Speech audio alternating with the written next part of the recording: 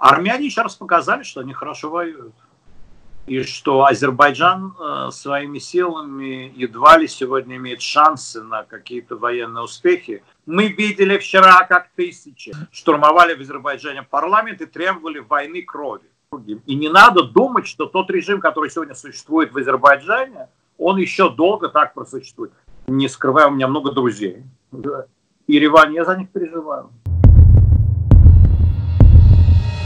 Дорогие друзья, добрый вечер. Э, я думаю, все следят за ходом тех э, событий, которые происходят на границе между Арменией и Азербайджаном. Вот сейчас вроде бы э, там происходит, то есть там затишье, там сейчас ничего не происходит. Но вот буквально недавно в интернете я увидел интервью уважаемого Виктора Эскина, и, честно говоря, вот я думаю, что нам всем было бы интересно отдельно поговорить бы с господином Эскиным. Господин Эскин, добрый вечер. Добрый вечер, Тигран. Господин Эскин, вот, э, честно говоря, э, вас уже давным-давно азербайджанцы обвиняют э, в армянофильстве, в излишнем армянофильстве, да, я вот читаю комментарии под тем интервью, которое мы с вами сделали, вам уже просто вот, господи, чего вам только не вменяли, что армяне вас купили, да. что вы поменяли, по-моему, место жительства из Иерусалима в Ереван, по-моему, и так далее, да.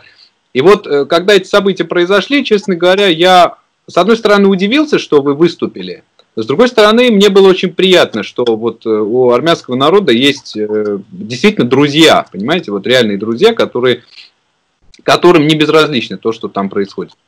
Скажите, пожалуйста, вот ваш комментарий, который вы записали вот буквально недавно, с чем он связан? Почему вы решили коснуться этой темы? Все-таки это не совсем касается Израиля, а это касается ну, государств, которые хоть и недалеко географически, но как-то не совсем в сфере ваших интересов. А, разумеется, что конфликт между Арменией и Азербайджаном – это не главная забота Израиля ну, я бы сказал совсем даже иначе. Просто в израильской прессе об этом никто ничего не сообщал. Ни, ни с той, ни с другой стороны. В русскоязычной что-то такое промелькнуло. Что касается меня лично, то поскольку не скрываю, у меня много друзей. И Ереван, я за них переживаю. Знаете, вот очень просто. У меня есть друзья, за которых я переживаю. У меня есть также некоторые друзья в Баку и в других местах в Азербайджане, я переживаю за них. Я действительно, действительно хотел бы, чтобы в этом регионе был бы мир и спокойствие. Когда происходят такие стычки, это позволяет нам э, вспомнить о том, что конфликт не разрешен. Это важно. Надо подчеркнуть, что на этот раз стычка произошла не в районе Карабаха, а на границе между Азербайджаном и Арменией, что особо тревожно. И то, что случилось, дает возможность поразмышлять не только о вашем конфликте, но и вообще о сущности разных международных э, кризисов, которые случаются на почве территориальных споров. Это же было и в Югославии. И вообще вот, странным покажется, потому что в основном в мире все говорят о территориальных спорах Израиля. Да. Но их в мире около 200 территориальных конфликтов будь то Кипр, э, Турция вовлечена в это, будь то вокруг России, чего только нет, включая Приднестровье, Южная Осетия, Абхазию, Крым, Донбасс, поехали дальше, Англия и Аргентина вокруг Фолклендских островов, они воевали как-то, ну, не в такие уж стародавние времена. То есть в мире достаточно много таких э, территорий. И, конечно же, взрывоопасный регион – это Кавказ. Сейчас да. Э, люди находятся в повышенно нервозном состоянии в связи с э, карантинами, в связи с экономическим кризисом. И к этому надо относиться внимательно. Что мне хотелось сразу сказать. У Израиля есть там определенные интересы, и их надо э, обозначить. Во-первых, я призываю израильтян вспомнить, что у нас уже было с Турцией. У нас никогда не было близкой дружбы с Турцией. Надо только путать. В Израиле никто не вывешивал турецких флагов и не, не, не пошел изучать турецкий язык, э, которым разговаривал Ататюрк. Нет такого. Да? Я русский выучил только за то или турецкий только за это. То есть Израиль это не про Турцию, более того, турки здесь властвовали, господствовали, и конечный период их властвования здесь был для нас болезненным. Да? Был. И активисты еврейского тогда, Ешова, еврейского населения, они, они активно выступали против турок также по поводу геноцида армян 1915 года. Но вернемся к нашим делам сегодня мы э, должны помнить, что с Турцией у нас были достаточно приличные отношения, и торговля продолжается до сих пор. Но не надо путать одно с другим. И не надо думать, что тот режим, который сегодня существует в Азербайджане, он еще долго так просуществует. Мы видели вчера, как тысячи штурмовали в Азербайджане парламент и требовали войны крови. На этот раз им не удалось. Но это вот подспудное, это исподнее, это подноготное, что влезает там каждый раз. Не надо думать, что режим Алиева в том виде, как он кажется кому-то благоприятным, он вечный. Кроме того, кроме того, вот эта вся сила исламизма, эта ненависть, она будет направлена вместе с Турцией, через Турцию против нас очевидным образом. Ну, потому что всегда так. Потому что Турция проводит сейчас Э, жесткую антиизраильскую политику. Мы с ними схлестываемся в разных регионах, кстати. Да. Сектор газа на территории самой Израиля, самого Израиля они портят как могут. Они влезают куда могут. Даже попытки скупить армянское имущество в нашем старом городе через разных подставных лиц. Это было выявлено израильской разведкой, мы это публиковали, и в Армении это было опубликовано, я к этому был причастен. То есть мы сталкиваемся постоянно с Турцией, с ее агрессивной политикой. Не дай бог, не дай бог вот это вот объединение Турции с Азербайджаном, скажем так, за счет территориальной целостности Армении и Карабаха. Вот не дай бог нам. Mm. Армения является тем буферным как раз э, государством, которое позволяет сохранять какой-то баланс мира в регионе. Это надо понимать. Я понимаю, о чем вы говорите, но все же, если честно, и думаю, что многие хотели бы узнать поподробнее. Вот вы говорите о том, что, не дай бог, объединение Турции и Азербайджана ну, за счет, скажем так, падения армянского государства или армянских государств. Если или частичного. Или частичного, неважно. Да, да, Ослабление да. и подчинение, неважно. Да. Я имею в виду вот это вот расширение тюркско-исламистского имперского османского влияния. Да. А, совершенно верно. Вот смотрите, получается вот что. Получается, что это будет не очень приятно для Армении, если, ну, если вообще сохранится армянское государство в этом смысле.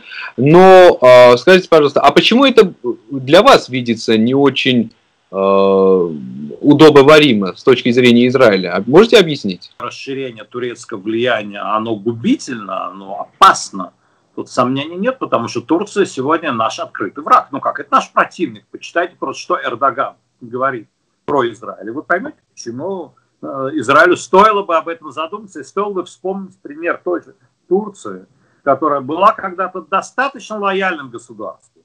Сегодня это открытое подстрекательство к насилию, открытое подстрекательство к, э, э, вторжению в Израиль, к, к, к отторжению от нас Иерусалима. То есть э, они себя ведут уже совсем беспардонно. Израиль знает, как ответить, Израиль отвечает, то есть мы в обиде не останемся здесь, на самом деле. Но надо учитывать реальность и понимать, что Турция сегодня для нас это, с одной стороны, может быть торговый партнер, с другой стороны, страна, э, которая политически и э, религиозно-террористически себя показывает с, с, очень агрессивной стороны. Что касается Азербайджана, те же самые процессы, которые наблюдались в Турции 30-40 лет назад, мы их сегодня наблюдаем в Азербайджане. Это надо иметь в виду. Может быть, это изменится. Это изменится. Сейчас в Азербайджане тоже живут неприятные некоторые люди, знакомые, и я им желаю только всего доброго. Но я не хочу того, чтобы Азербайджан шел навстречу Турции. То есть нам это определенно, определенно не должно быть э, полезно и приятно. Степень нашего вмешательства, она очень ограничена. Но стоит об этом подумать. Э, при налаживании дальнейших отношений. У нас нет отношений с Азербайджаном до сих пор. У них нет посольства у нас, потому что они считают, что мы сперва должны на своей территории создать государство Палестина, которого никогда не было в природе. То есть должны на своей территории, и потом они готовы, вот потом они готовы снизойти до того, что разместить у нас посольство. Ну, э, спасибо, так сказать, но не за что. Но не за что. Некие противоречия по этому вопросу между Израилем и Арменией, они, я думаю, скоро отпадут. Они должны отпасть, потому что он, между нами здесь есть э, принципиальное согласие по главным стратегическим вопросам. Я, я их обозначил, это турецкая угроза, но, конечно, однозначно. Это изменение юридического подхода к территориальным конфликтам. Это очень важно. Это очень важно. На самом деле, первым прецедентом было Косово, ну, половинчато, да, там половинчато. Да. Было, было отторжение и признание. Но э, надо смотреть э, на ситуацию реалистично. В этом отношении прецедент голландских высот для вас – это подарок судьбы, а для нас будет еще подарком судьбы, конечно, признание. Как вы решите в переговорах, как вы захотите, армянская страна, признание части или целостно Карабаха. Это очень важно. Это очень... Вот дальше вы, вы же не можете гарантировать, что в Азербайджане на почве всего этого кризиса не возникнет также серьезная террористическая база исламистов. Если вы туда пустите турок, и если мы не э, возьмемся все за ум срочно. Это э, также вопрос к Москве. Это вопрос к Москве. Я думаю, что сегодня у России есть возможность показать, что Россия да, может быть надежным партнером. Голос так. России хотелось бы, чтобы он был здесь э, более все-таки ясный и однозначный, хотя бы в отношении того, что после турецких угроз, мне кажется, из России могли бы поступить какие-то сигналы, что любое вмешательство Турции, оно встретит э, серьезный отпор со стороны Москвы. Вот вы предвосхитили мой следующий вопрос, честно говоря, потому что я хотел спросить по Турции. Иерусалим голос пророческий, город пророческий, да. Да, святая земля на самом деле. Вы, э, вы знаете, вот вы сказали такую вещь по поводу Турции, да, что хоть несмотря на то, что экономические связи с Турцией в Израиле сохраняются, и, в общем-то, они достаточно серьезные, и мне кажется, обороты увеличиваются, ни в коем случае не избавляются вот за последние несколько лет – Несмотря на то, что сегодня есть очень серьезный кризис в отношениях между Израилем и Турцией. Ну, понятно из-за чего. Из-за месье, из-за господина Эрдогана. Но здесь э, вопрос в том, что Турция ведь наращивает свой агрессивный подход в международной политике. И вот то, что он превратил собор Святой Софии э, обратно в мечеть, а мне кажется, это его личная заслуга, и это его личная инициатива все-таки.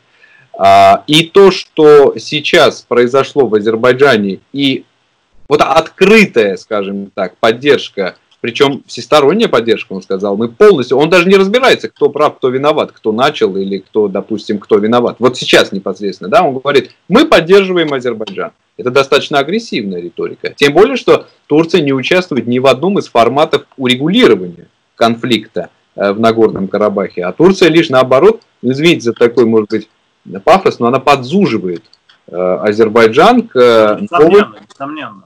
Безусловно. Вот скажите, пожалуйста, вот на ваш взгляд, сегодня Турция, она в состоянии нанести, ну, скажем так, серьезный э, военно-стратегический удар по э, Армении как э, союзнице России все-таки по УДКБ?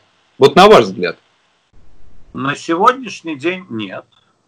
Но э, надо принять в расчет иррациональность сегодняшнего мира. Вот то, что происходит с короной, это же абсолютно иррационально. Да? То есть мы с вами смотрим, вы и я, мы люди ну, грамотные, мы смотрим, что в этом году, в, в период пандемии, пандемия, мама мия, мама Джан, мамочка Имеле, да, в период пандемии, 6 месяцев смотрим статистику, в мире нет роста смертности. Как было 29 миллионов в прошлом году, 29 миллионов в этом году. Мы это видим. Есть страны, как Израиль, где даже смертность немножко пошла вниз. Чуть вниз пошла. В Армении, насколько мы чуть-чуть вверх. Но это колебания, которые меняются от сезонного гриппа, от заражения кишечника, это чего-то обычное. То есть да. э, люди, которые, согласно официальной статистике, ушли из жизни по причине коронавируса, или как одно, одно из причин, это 1,7% от общего количества людей, которые умерли в этом году. Тем не менее, мир идет на какой-то безумие. Поэтому нельзя исключать безумных сценариев. Вот важно. Нельзя да. исключать безумных сценариев. И Э, относиться к Эрдогану только как к рациональному политику тоже мы не можем, особенно в этой атмосфере всеобщего психоза. Посмотрите, что происходит в Соединенных Штатах, где белые целуют ботинки афроамериканцам. Я даже не могу сказать негров, потому что, может, канал закроет. А лучше сказать, я не имел этого в виду. Я не хотел этого сказать, у меня случайно сорвалось. Я приношу извинения нашим афроамериканским и афро-южноафриканским, может быть, зрителям, и еще каким-то вот этим. Нет слова негр. Помните, как анекдот про Вовочку? Это есть, а слова нет. Вот. Да. Есть такой анекдот. Не совсем прилично, я вам не буду рассказывать в вашей очень приличной программе.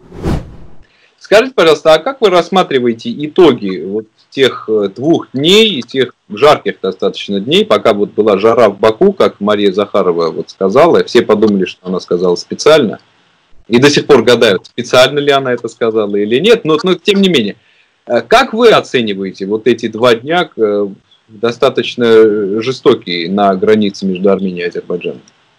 Армяне еще раз показали, что они хорошо воюют и что Азербайджан э, своими силами едва ли сегодня имеет шансы на какие-то военные успехи.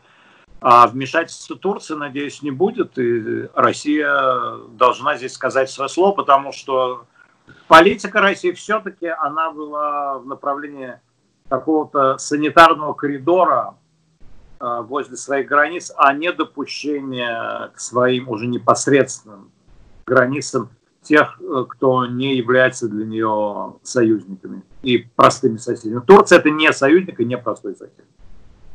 Ну и последнее, если позволите. А, Азербайджан на протяжении последних 15, да может быть даже и 20 лет, нет, ну последних 15 лет, скажем так, он наращивает свою военную и милитаристскую риторику, а вот на протяжении последних пяти лет а, президент Азербайджана господин Алиев все чаще и чаще делает э, ну, достаточно, скажем так, э, интересные исторические э, экскурсы, которые, на мой взгляд, мало того, что не подкреплены историческими фактами, но они очень серьезно вносят такой дисбаланс во взаимоотношениях, в будущих, скажем так, взаимоотношениях и вообще в переговорный процесс между вот Арменией и Азербайджаном, да, сейчас.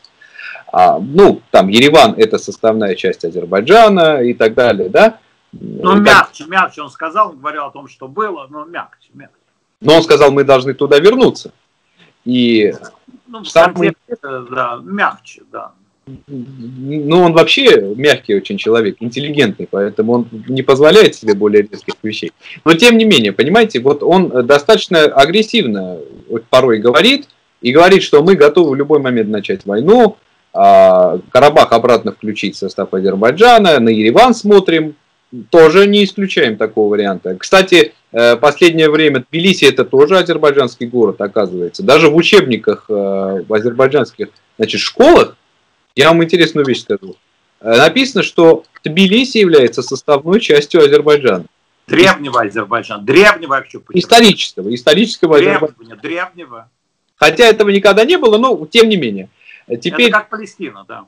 Э, насчет Палестины... Правда, кстати... Палестины и сейчас нет, а Палестины и сейчас нет. Азербайджан сейчас есть. Но не важно. Да, да. Я, я понимаю, что, что вы имеете в виду, да. Не, я, мой вопрос состоит в том, что но если он так уверен в своих силах, вот сейчас произошли события, которые, на мой взгляд, давали ему полный как бы карт-бланш для того, чтобы ну, начать попытаться это сделать. И тем не менее мы видим, что он этого не делает. Вот как вы думаете, почему? Он э, больше куда ориентирован на внутреннее спокойствие, и он смотрит больше на свое население, нежели на вас. Будьте в этом уверены. У него дела идут хорошо, у его клана дела идут прекрасно. Он привык уже находиться в этой должности, он не хочет ее лишаться. Война это рискованно и есть большой шанс проиграть. есть шанс проиграть еще раз. Зачем ему это? Э, но он не может не считаться с теми настроениями, которые пробуждаются различными исламистскими силами внутри Азербайджана, реваншистскими силами. То есть это там существует э, и разжигается. Не всегда по воле президента, но он отражает эти настроения и выступает иногда с э, заявлениями, которые не соответствуют его статусу выпускника МГИМО. Я не хотел, честно говоря. Я думал, что все, вопросов не задам, но вы меня сподвигли на еще один провокационный вопрос. Вы как еврей, вопросом на вопрос, да? Да, да, да. Вопрос. вопрос, вопрос, удар, удар, еще удар, вопрос, вопрос, еще вопрос. Э, я... Еврейско-армянский диалог, еще вопрос. Вот, я хотел это сказать, что не секрет, что э, все говорят, что евреи и армяне имеют намного больше общего, чем кажется. Э, вы знаете... Да, по ДНК, да, кстати. По ДНК не знаю, но то, что по характеру, в общем, есть очень много по чего. По ДНК есть, а есть о чем поговорить, да. Да. да. А, вот вы сказали по поводу исламизма. Исламизм на сегодняшний день, во-первых, я хочу подчеркнуть, что лично у меня в отношении к мусульманам нет никакого предвзятого отношения. Более того, я считаю, что мусульмане, если они верующие мусульмане, то это очень хорошие люди. Потому что они живут по святому закону, и они его, если не нарушают, то ничего плохого не будет. Так, но тем не менее есть реакционный ислам, есть э, вот те самые исламисты, о которых мы говорим, из-за которых в мире сегодня неспокойно, особенно в регионе Ближнего Востока, скажем так, да. И вы знаете, что интересно, а в последние несколько лет, и в 2016 году, кстати говоря, тоже, а, на стороне а, Азербайджана, вот в Карабахе, да, когда начались боевые действия вот в апреле 2016 года, в них участвовали в том числе исламисты как из э, Афганистана, так и из Сирии. Да. И как вы думаете, вообще, как это может, как это вообще могло так произойти? Все-таки Азербайджан не является террористическим государством, и уж тем более государством, которое у себя держало бы террористов, скажем, да? Для мирового сообщества это такой же как бы член, равноправный, как и многие другие. Но тем не менее, это факт, который признали все европейские государства, американцы и так далее. И в том числе Израиль, кстати говоря. Израиль об этом тоже говорил. Как вообще это может быть, на ваш взгляд? Когда начинается такая смута, то определенные силы, располагающие средства, располагающие влияние, они пытаются внедриться. Какое-то внедрение было. Но мы действительно все-таки должны признать, что Азербайджан нынешний, он не вовлечен вот в этот террористический интернационал.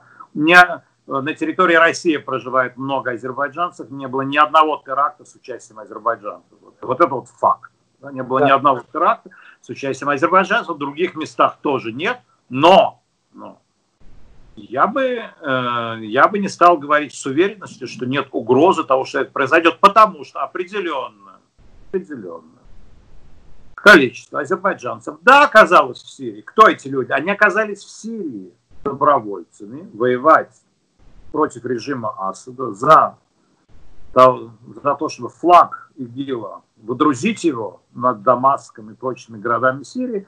И там они познакомились, привели оттуда. То есть вот эта смычка, она произошла, ее удалось пресечь. Это и заслуга российских спецслужб. Ну, Израиль тоже к этому имел какое-то отношение. Может быть, может быть, может быть, я не исключаю это, так скажем. По некоторым публикациям имел какое-то отношение. Ну и сам Алиев, конечно же, для него это прямая угроза его власти. Это тоже надо понимать. Ни он, ни его супруга, ни его дочь э, не являются образцовыми исламистами ни, по каким критериям. Мы же тоже понимаем с вами. Ну, просто никак. Да. Э, они понимают это лучше нас, они этого опасаются, но Алиф правит в этой стране, ему надо считаться с населением, считаться со всем, что происходит.